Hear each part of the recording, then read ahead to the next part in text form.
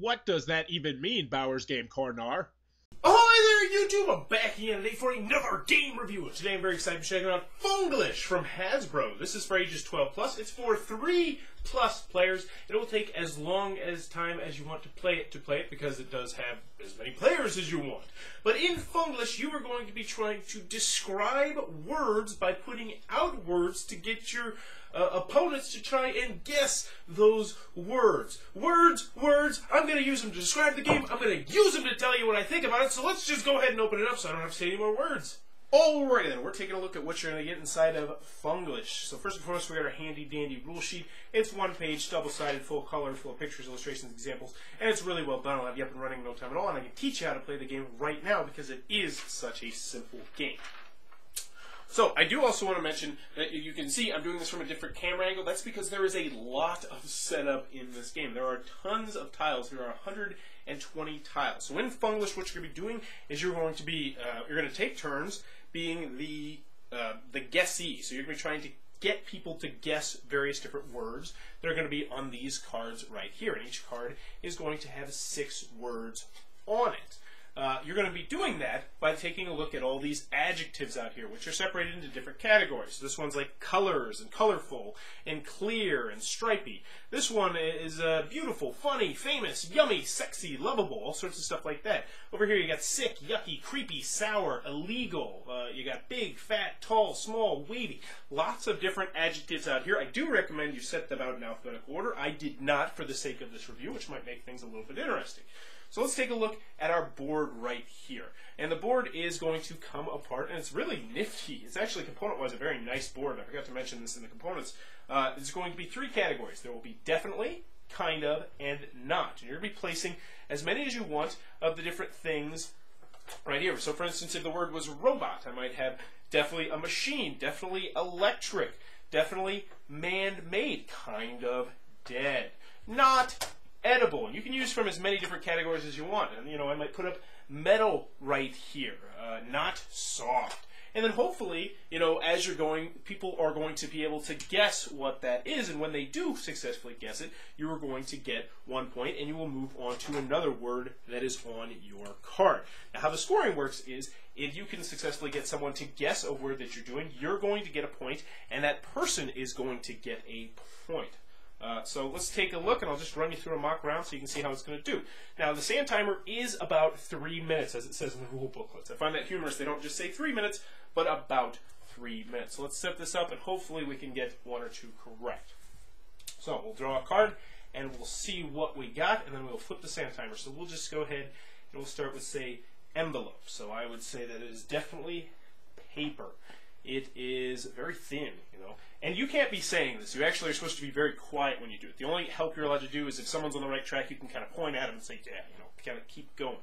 Uh, let's say uh, it is ooh, uh, kind of sticky. You know, there's sticky on there. It is um, not a machine. You know, it, and, and as you can see, you're going to be trying to get people to guess the words, but it's very difficult from time to time. And about halfway through, you'd be like, all right, this is really difficult. I'm done with this one. And I'm going to go on to say licorice. So we go on to licorice. We want, we want yummy. We want yummy and we want sweet. So this is where it's kind of killing me that I don't have it in alphabetical order. So it's definitely sweet and it is long. Yeah, it's kind of long. Kind of long. Kind of wavy. They're kind of wavy, right? It's also kind of square. And at this point, I'm probably confusing everyone playing the game. It can be definitely red, but it also can be black.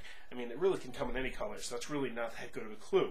Uh, but anywho, as you can see, you're going to go until the sand timer has ran out. You're going to give everybody their points. And then the next person is going to take their turn being the guessee and giving out the clues. You'll go until everyone's had a turn or until you've, uh, you've decided on X amount of rounds or X amount of points, at which point one person will be the winner of Funglish, and that, in a nutshell, is how the game is played. Now, one more thing I forgot to mention, and this is uh, will make it a lot easier, is when you are doing this board, there actually will be two people doing the board, uh, and that does make it substantially easier. I probably should have mentioned that at the beginning.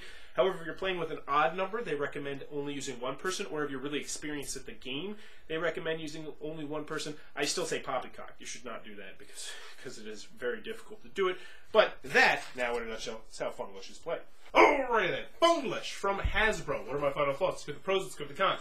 First on the con side, the game is not going to be for everybody. The game does have faults. Um, one of the big faults is I don't like the fact that the font on some of them is difficult to read. Like they tried to make the game a little bit th- more thematic by like making the word furry kind of furry and the word sweet like this cute little you know italics and like and it makes it a little bit more difficult to read, especially when you get into the higher player counts because you're going to have to have the board and everyone's going to be able to need to see the board. When you get to the higher player counts, it's going to be more difficult to see the board. Now, granted, that's a small problem because you can say it's definitely this, or you know, someone else can read it off as well. Also, some people are not going to like the fact that um, most of the time, and, and I do recommend playing this way, you are going to have two people doing the words. They're going to want to do it themselves, and and most of the time, that's people who have never played the game before. You really kind of do need two people to do it because it's actually really difficult sometimes to get people to guess words because as many adjectives as there are out here, it's still really hard. And the only thing you're allowed to do is like point to people as they get closer to getting correct. But it can get frustrating when you're trying to like get people to guess the thing and you're looking for the words and you're like, ah, and then someone else, maybe maybe your partner who's up here with you, who's not really your partner, but you're kind of partners because you both want to score the points, plays a tile and you disagree with that tile and you're just stuck with it because you can't really talk too much it has a little bit of a frustration level, and it's a lot more difficult than you want it to be. Uh, another comment I have with this game is that while the components are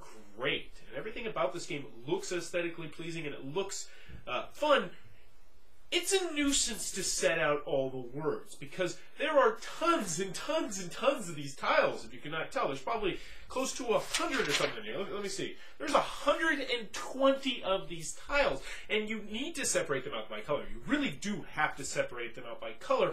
And then, if you want to have a, a better game, and this is something that I do recommend, you need to put them in alphabetical order, which is even more tedious because you're going to be spending time setting up the game, and that's just something you don't want to do, especially with a light party game. With you know complex, you know three-hour games, it's like setting up the game is not a big deal. If I'm playing Twilight Imperium Third Edition, I don't mind spending 35 minutes to set up the game. If I'm playing Funglish, I don't want to have to spend five minutes setting up the game, or 10 minutes if you do it alphabetically, and it will take you that long to do, which is a little bit of a nuisance. Any other cons that I have with the game? No. Moving on to the pros, I do. I enjoy Funglish, and I would put this as a step up over a lot of your typical mass market Hasbro, Milton Bradley, Mattel party games. You know, you got like your Quelfs and your Catch 22s and your your Fact or Craps, your Apples to Apples, and I like this better than just about all those games. Maybe up there with Apples to Apples because it is really interesting and it is really challenging. Uh, and you know, you can score points either way, either when you're doing this part or when you're trying to watch other people, you know, try and get you to guess the word. So everyone's going to be actively involved at all times, which is essential to a party game. There's not really much downtime. Aside from when you're first setting up the game, there's not much downtime. So the game does go relatively quickly. It plays pretty well at about all the different player counts. I mean, uh, three players is still fun to try and get people to guess the different words. Four players, five players, six players. I think we played it all the way up to. I think we had 12 people at, at a Christmas party playing this, and it went over really well. And, that's another thing I'm going to mention. Uh, and I forgot to mention this in the cons. As a game night game, you're probably going to want to steer clear. It's still a little bit too simplistic for a game night, but as a game night for people who don't really play hobby games, I think they're really going to get a kick out of this one because it's a little bit more brain burning, it's a little bit more challenging than your typical party games. Take a look at a game like Fact or Crap, where it's just, oh, true or false. That's the whole extent of the game. This game really poises more of a challenge, and I think some people are really going to dig that. Uh, also, I think this is a great teaching tool as well. I think this would be a really fun game to bring into a classroom. Uh, I'd say as early as honestly, there's there's not really too many complicated words here. As early as say kindergarten, first grade, second grade, this could be a great word to help broaden uh, a child's vocabulary, and I like that.